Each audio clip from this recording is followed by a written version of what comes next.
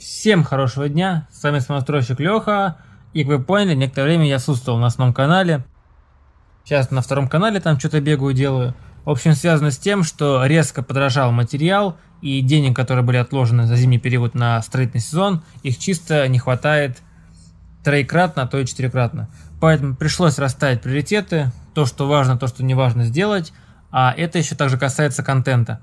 У меня очень много работы, которые начаты, но нету концовки, потому что их пришлось отложить, так они сейчас в данный период времени не очень важны. Поэтому за тот период, который отсутствовал, мне удалось неплохо так наснимать материала, поэтому на ближайшие два месяца контент будет выходить регулярно, но это не точно. Ну а сегодня расскажу вам про террасу. Ставим чаек и погнали.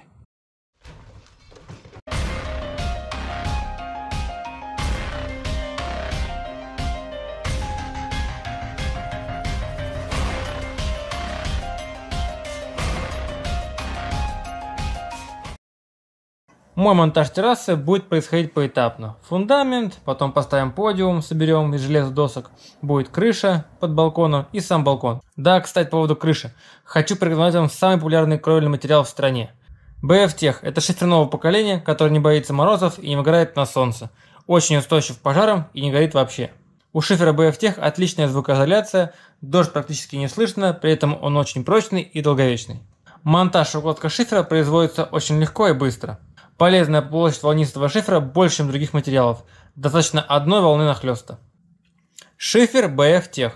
Качественный кровельный материал по доступной цене. Ссылочка на данный продукт будет в описании.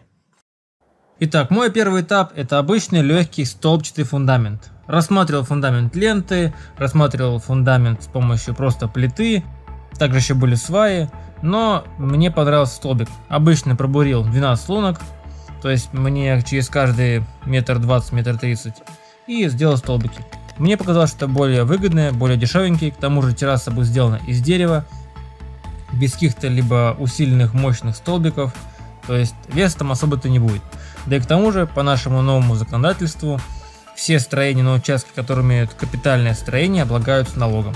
Поэтому терраса стоит на обычных столбиках, либо сваях, это будет считаться легкое строение и налогу не подлежит. А это, по моим меркам, целых 12,5 квадратов. Поэтому лучше пусть стоит на столбиках. К тому же это отдельный фундамент и прицеплять его к основному нельзя, поэтому терраса нуждается в своем собственном фундаменте. Монтаж начал я с обычной разметки. Начнул шнуровку в двух направлениях. По левой стороне будет 6 столбов и по правой. Ну и по направлению этих шнуровок я уже в дальнейшем буду ориентироваться.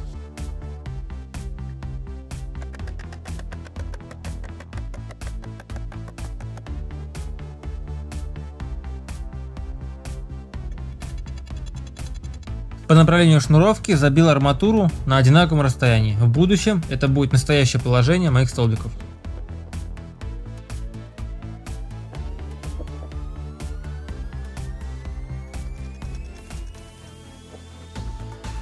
Для того, чтобы столбики были параллельны друг другу, я использовал уровень и уголок. Фасад у меня сделан более-менее ровно, поэтому относительно одного столбика должен находиться второй. То есть в моем случае это сейчас арматура, но в будущем это будет стол.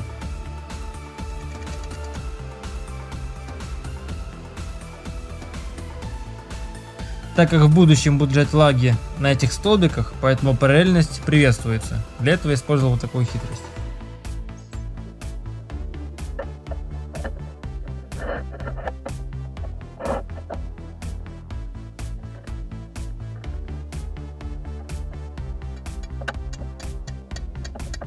Ну а теперь нужно браться за бур. Пробурить необходимо 12 лунок глубиной метр пятьдесят. Сверху будет еще 20 сантиметров земли, как раз этого хватит, чтобы промерзания не было. Удаляю арматуру и теперь в эту готовую лунку уже можно вставлять бур. Это и есть положение будущего столбика.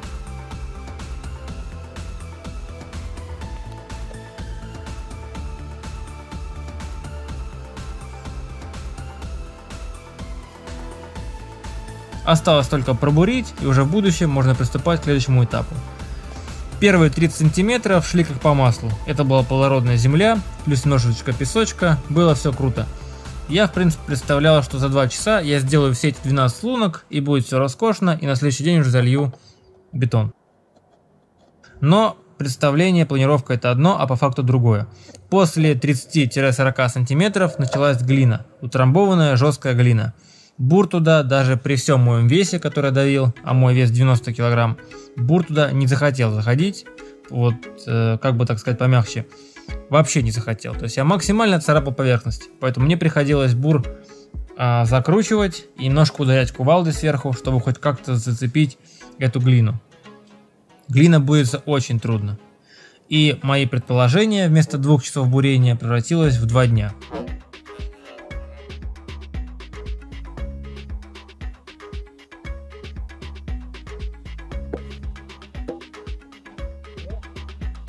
То есть за 2 часа, которые я себе профантазировал, я убурился только на 40 сантиметров 12 лунок, а нужно было метр пятьдесят.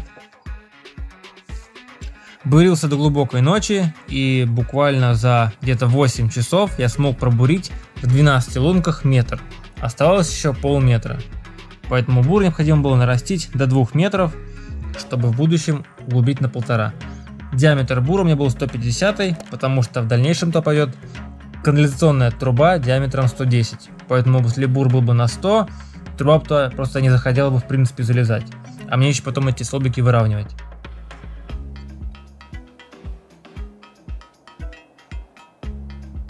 И тут стала вторая проблема.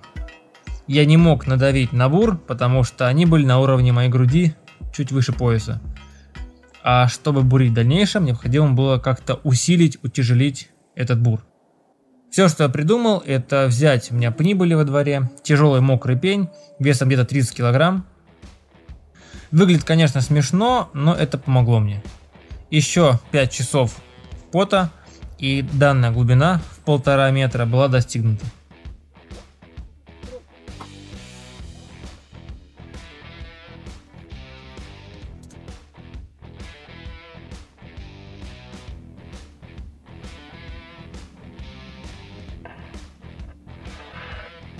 Ну и теперь осталось ставить PMD-шные трубы.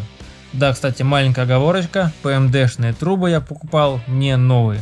Я специально ходил по рынкам и спрашивал не кондицию, потому что не кондицию можно выторговать за полцены, а то и дешевле. Ну и плюс там бывают не совсем трехметровые трубы, бывают 2,5, 2,7, 2,8, то есть не кондиция всегда есть, ее можно купить по дешевке. Для моего фундамента самое то. Что при заливке бетона влага не ушла из моего будущего столба, все концы, то есть окончание трубы, я покрыл клеенкой и замотал скотчем. Чтобы когда буду заливать бетон, он туда потом там остался, никуда не утек. А чтобы арматура не порвала клеенку, туда нужно посыпать горсть песка и горсть щебенки. Арматура упрется в щебенку, пес, щебенку упрется в песок, слегка продавит э, клеенку, но не порвет ее. Первый и последний столбик выставляю по уровню и трамбую песком с помощью сырого песка и лейки. Этот способ я подсмотрел у себя в деревне, мы так все столбы делали. Все, столб уже в принципе не шатается, никуда не денется. Как видите, трубы сделаны так себе, поэтому их нужно все выравнивать. Именно поэтому я залил первый и последний столб. Ну а теперь так же, как и в первом случае, натягиваю шнуровку и по первому и последнему столбу буду выравнивать все центральные.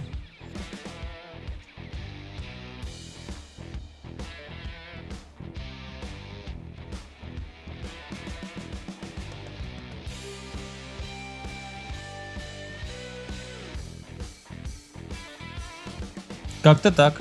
Да, кстати, на высоту труб не удивляйтесь, потому что они были разные. Как я говорил, я их покупал не новые, а уже такие пользанные, царапанные, треснутые. Потому что это всего лишь емкость для бетона. Поэтому, грубо говоря, несъемная палубка. Поэтому это не страшно. Ну а теперь уже более-менее на глаз, оставляя 80 сантиметров над уровнем земли. В будущем, если что, я подпилю это уже с бетоном.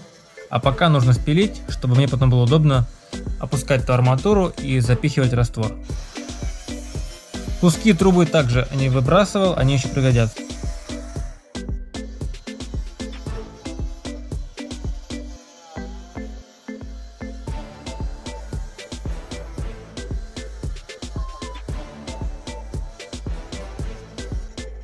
Да, кстати, для экономии можно было использовать вообще, в принципе, коллекционные серые трубы. Они немного дешевле. Но я когда ходил по рынкам, не кондиция была только уличная, причем в большом количестве.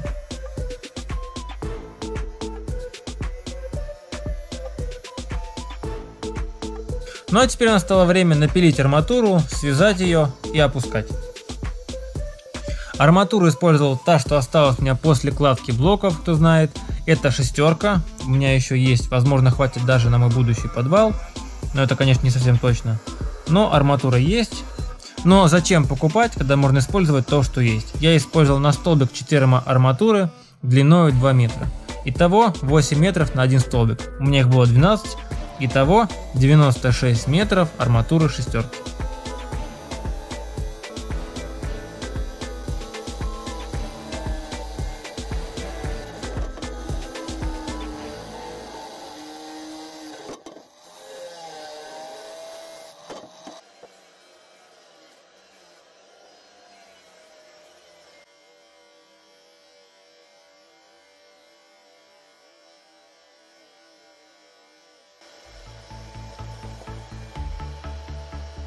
Напилил нужное количество, теперь их необходимо связать в квадратик, который в будущем будет опущен в трубу.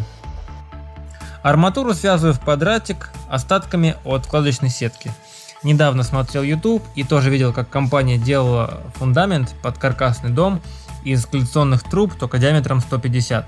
И там проектировщик делал комментарий, что они посчитали и хватит на такой дом 3 арматурки диаметром 14. Я с удовольствием посмотрел, как они ее вяжут, но, к сожалению, не показано. Показано уже, когда столбики залиты и сверху уже сделана обвязка. Я в своем случае никаких расчетов не делал, у меня чисто колхозный вариант. 4 6 миллиметровых арматурки. Я думаю, на один столбик, а всего их будет 12, этого более чем достаточно. Естественно, перед тем, как дать арматуру, я заранее заметил, чтобы арматура внутри трубы не касалась стенок и была от стенок где-то 2-3 сантиметра. Ну, скорее 2, чем 3.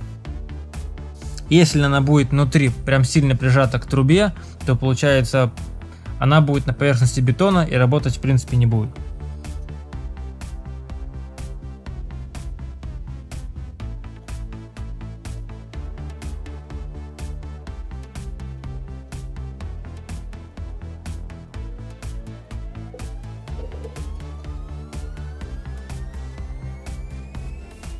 Ну и готовые связанные столбы опускаю внутрь. Столбы длиной 2 метра опускаю внутрь, нет поверхности торчит около полуметра, плюс-минус 10, там как отрезал.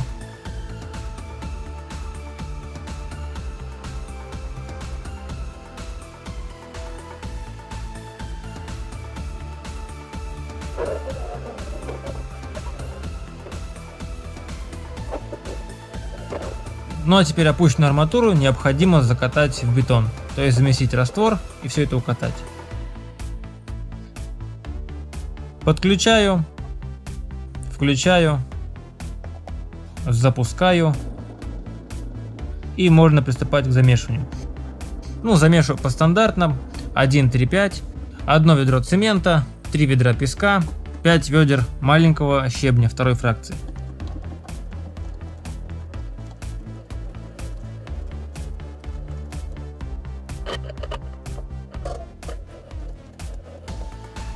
Симпровизировал лейку от остатков железного листа.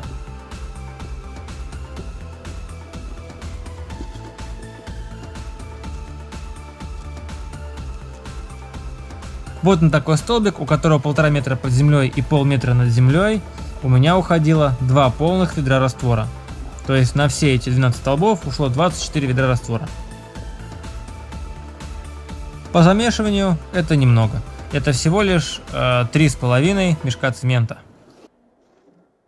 Раствор заливался с ведра, стал сделать пожиже, чтобы он хорошо проваливался. Если были моменты, когда раствор просто не уходил, то есть э, ведро залил и все, больше не лезло, приходилось все это пробивать арматурой, прям конкретно, чтобы то все провалилось. После ударов, когда раствор переставал уже уходить, то есть я понимал, что столб полностью до краев забит раствором, и там не будет пустот, значит он полностью будет монолитный и прям полный.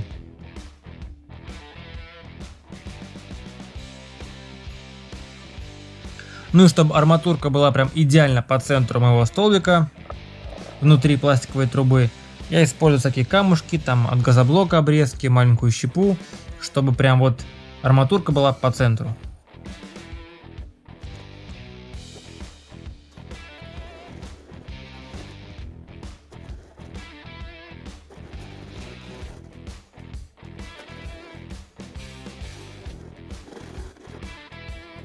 Возможно, сверху будет какие-то неровности, но это все немножко подпилится.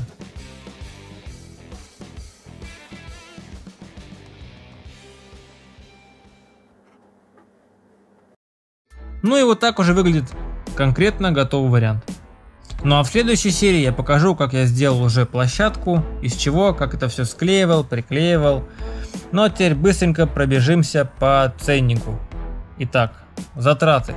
Я сначала скажу, сколько чего потратил, а потом озвучу цены, потому что цены могли поменяться и меняются, и вообще, возможно, сейчас это стоит золотая терраса у меня, поэтому скажу сначала по количеству, потом по сумме. Итак, у меня ушло а, труба коллекционная, летняя, можно использовать для дешевизны серую, 3 метра на столбик, 12 столбов, итого 36 метров. Арматуру использовал шестерку, можно в принципе десятку, восьмерку, там Нужно смотреть по прочности. Но я думаю, 4 шестерки хватит, в принципе, вполне. И 96 метров арматуры шестерки. Также используется квадратный метр кладочной сетки. 2 килограмма вязальной проволоки. По растворам, смотрите, я брал мешки по 30 килограмм, поэтому у меня ушло 3 мешка. А так, думаю, где-то полтора-два. В общем, по замесам ушло 3 замеса. Внутри замеса был одно ведро цемента, 3 песка, 5 щебенки.